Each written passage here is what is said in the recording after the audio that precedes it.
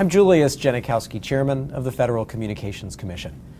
Our mission here at the FCC is to ensure that Americans have access to the best communications technologies in the world and to promote competition, investment, and innovation for phone, video, broadband, and other communication services. That mission begins with you, the consumer.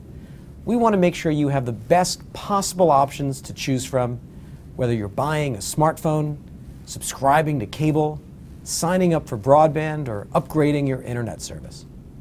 This FCC Consumer Help Center will help you learn more about the work we're doing to inform, protect, and empower consumers.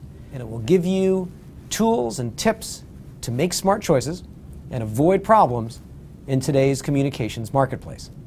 Check back soon for more updates and improvements, and be sure to send us your thoughts and ideas on how we can make this site most helpful to you. Thanks.